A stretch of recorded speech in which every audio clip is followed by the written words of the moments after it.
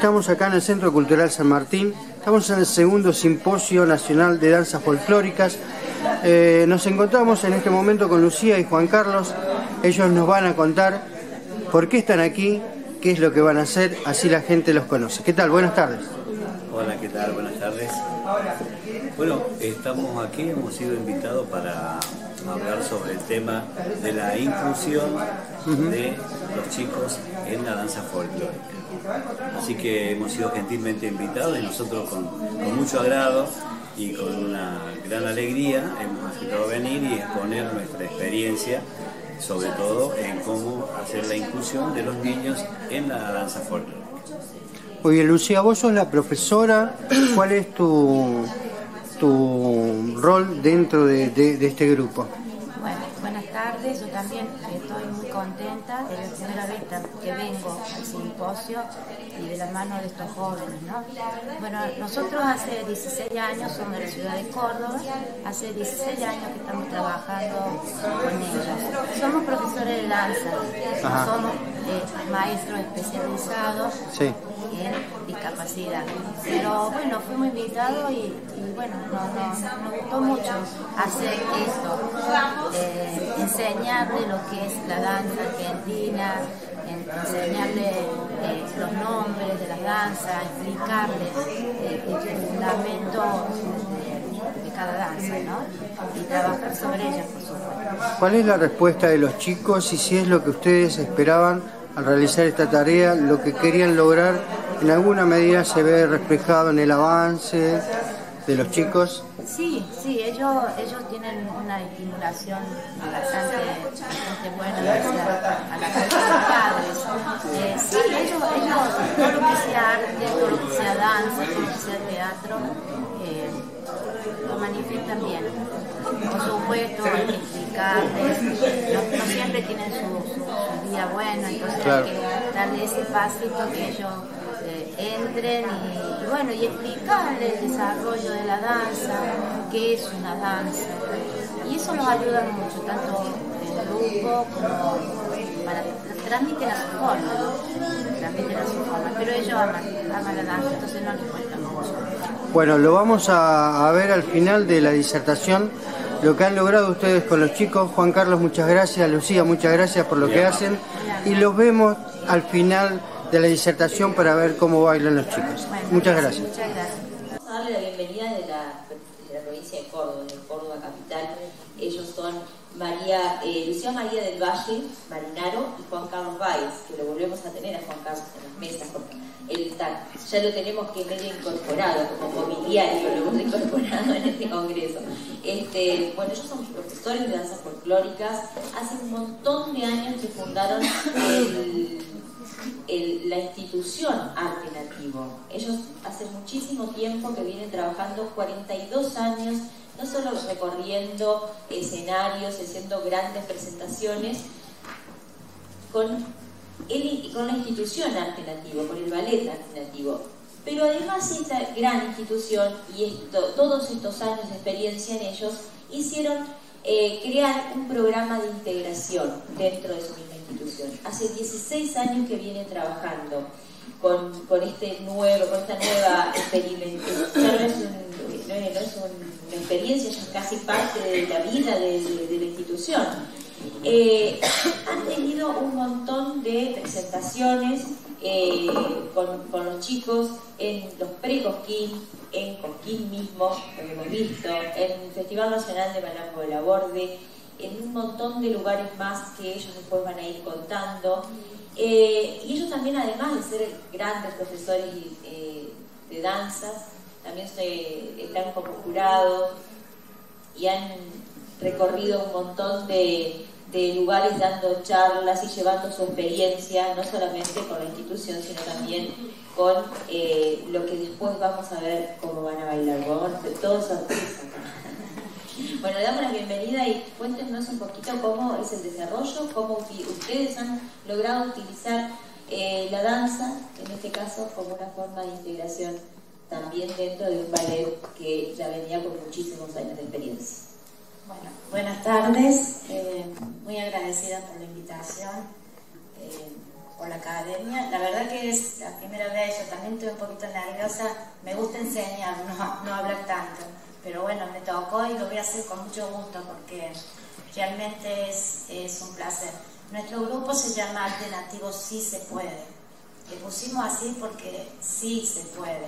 Nosotros no somos eh, docentes especializados, pero tenemos muchísimo amor y es lo que nosotros entregamos hacia estos chicos. En el 2006 eh, fuimos invitados por un instituto de niños especiales, Instituto IRA, y nos invitaron para dar clases. Eh, por ahí teníamos un poquito de miedo, como todo, porque no sabíamos realmente si, si, íbamos a poder si complacer todo, todo el, curricular que necesitan para, con ellos. Eh, bueno, fuimos, nos invitaron, fuimos, empezamos, entramos a una salita de música, nos mirábamos eh, y empezaron a entrar alumnos. Eran 45, 50 alumnos, todos grandes. Nunca hemos trabajado con niños pequeños, que no estaría mal porque me encantaría, pero siempre niños grandes. Eh, y empieza primero ellos eh, a integrarse con nosotros, porque tampoco vamos a decir que ellos apenas nos vieron, éramos personas extrañas, pero no les cuesta tampoco integrarse mucho. Empezamos con el nombre, a preguntar el nombre, y lo que más les gusta a ellos es contar qué es lo que comieron, qué es lo que hicieron, qué les pasó. Y así fuimos, fue pasado. Teníamos una hora de clase nomás, ¿no? pero nos fuimos felices. El primer día de clase nos fuimos re orgullosos de lo que habíamos hecho.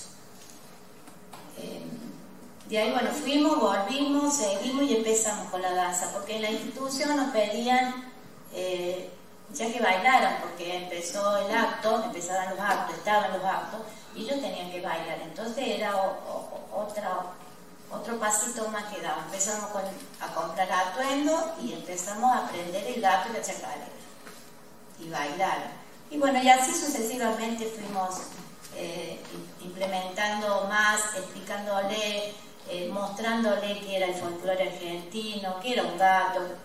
Empezamos con las vueltas y, así sucesivamente.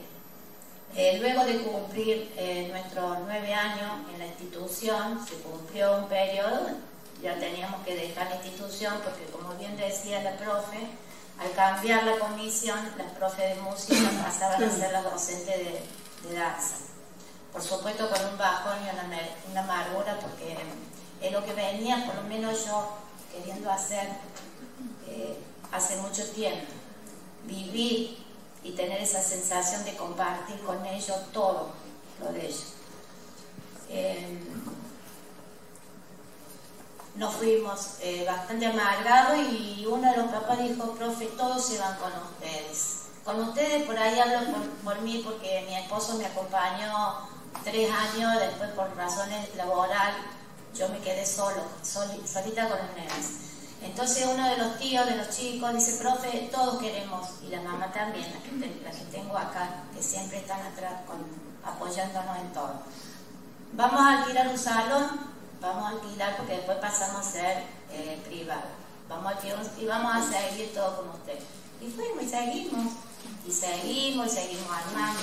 Ellos, eh, nosotros nos basamos mucho en, trabajar explicarles eh, qué es lo que es obritas, qué es lo que es leyenda, a contarles todo, porque eso también hace que ellos logren trabajar los espacios, logren eh, liberar sus tensiones, su, depresión a través de la danza. Entonces empezamos a trabajar, el primer cuadro que hicimos fue el espantapájaro, el segundo fue un casamiento y el último que hicimos acá fue una chaya, que es lo que estamos haciendo ahora actualmente, la chaya de la Rioja. Al estar privado tenemos mucho más tiempo, no más de dos horas y media, porque ellos bien, pueden trabajar dos horas. Y, empezamos a trabajar personajes, le encantan. Ellos todo lo que sea teatralizar, actuar. Entonces pusimos el cura, el, policía, estaba la novia, por supuesto, el novio, el padrino, la, dueña, la dueña del rancho. Y bueno, todo eso nos llevó a que, a ellos expresaran más eh, todo lo que estaban haciendo. Nosotros, yo, yo me voy a reconocer que soy un poquito matemática, trabajo un poco más la técnica sobre, más allá de lo que decían que, ellos trabajan libremente, sí, trabajan libremente, pero tratamos también porque son niños muy inteligentes, estimulados de niños por sus padres. Entonces, me pareció que a lo mejor podía dar un poquito de lo que yo sé, que es trabajar un poco más la técnica, en posiciones, en paso por ahí nos cuesta, nos cuesta más caminar que hacer el paso. Pero a lo mejor al principio dije, chico, hay que compartir, pero ahora no hay necesidad, ellos saben que tienen que compartir. Así que bueno, esa es una experiencia donde toda mi vida voy a agradecer a Dios y a la vida. Eh, por haberme puesto en este camino y por permitir que sea docente de estos, de estos niños. siempre que, que, terminan, porque ya les va a comentar en la otra parte mi esposo, eh, me siento tan orgullosa y feliz en verlo. Por ahí me olvido de que tengo que, no lo guío del escenario, eso lo bueno también que de comienzo eh, tratamos de que ellos se manejen libremente y en el espacio que ellos quieran arriba del escenario. No importa si en, el ensayo eh, la pareja iba acá y terminó, no importa. Eso los papás son los que más se enojan. Y yo les digo, yo soy la docente y sé que ellos van a manifestar su trabajo como a ellos les guste. Entonces siempre me dicen, yo te felicito maestra porque qué trabajo que haces con esos niños. Y le di 16 años de ser su maestra.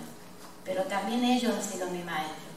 Me han enseñado muchas cosas en la vida, a, valorar, a valorarla y a, y amar todo lo que tengo a mi alrededor.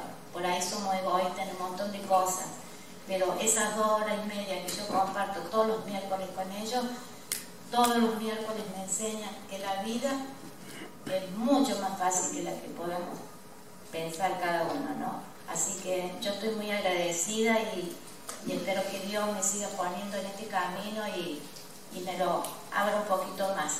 A ver si puedo y, enseñar todo lo que yo sé a, niños chicos que también me encantaron.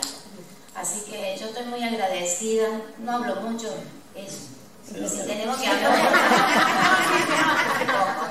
Pero bueno, estoy muy agradecida y y gracias por, la invitación. Es, la primera vez que estoy acá y pensé que no lo podía hacer porque me emociono demasiado con ello. Así que muchas gracias.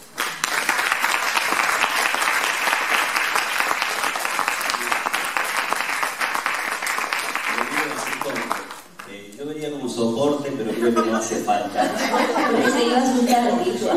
Sí, eh, son tres tiros que dijo que estaba asustada, que no podía, que bueno, convengamos que los niños han empezado a tener un conocimiento más de la danza folclórica y de los movimientos y todo a través de que nosotros hemos implementado con ellos, contarles eh, costumbres, eh, leyendas, cuentos y hacer que ellos a través de una coreografía impuesta por nosotros, ellos vayan creando y viendo movimientos también. Inclusive han hecho hasta dibujos de los una vez contamos sobre el velorio del angelito y cayeron todos con féretros y todo, eh, con alas, con ángeles, en fin.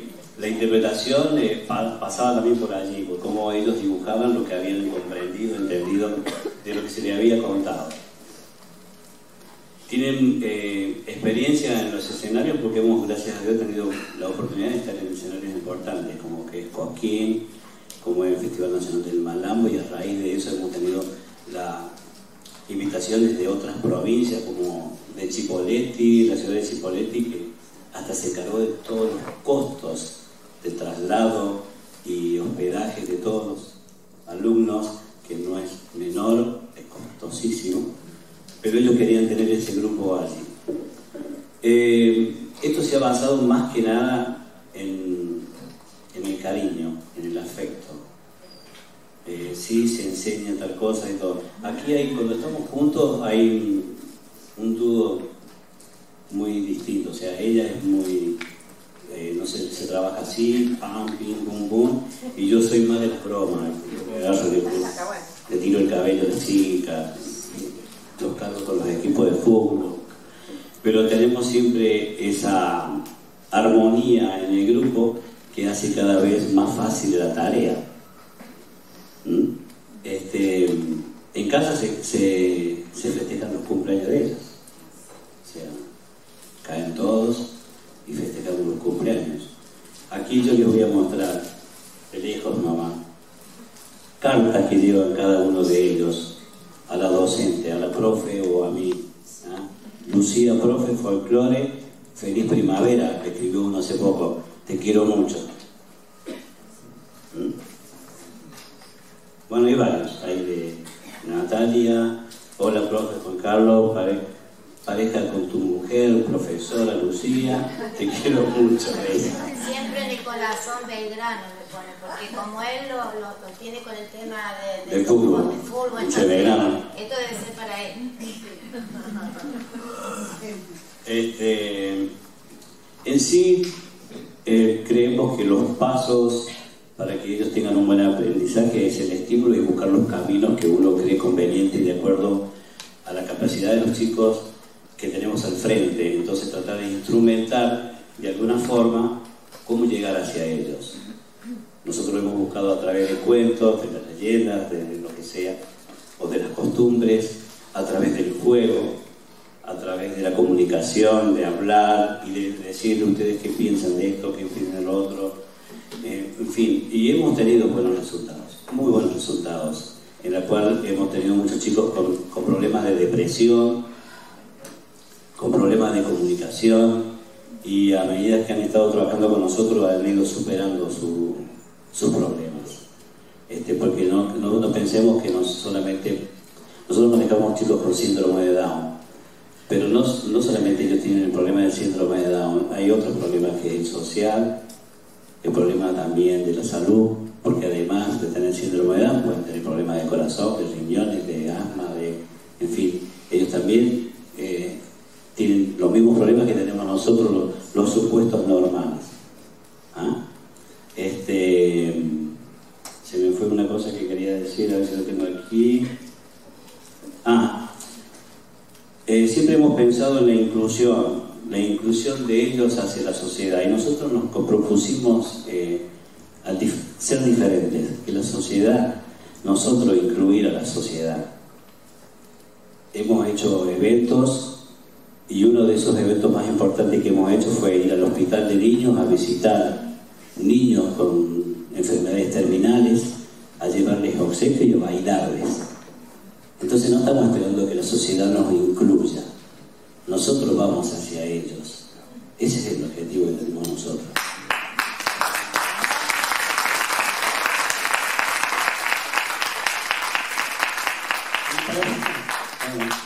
Para terminar, eh, ellos tendrían que ser como el antivirus para no perder la sensibilidad en la sociedad nos enseñan día a día. Son especiales porque son especiales en sí, sí, son muy profundamente especiales porque brindan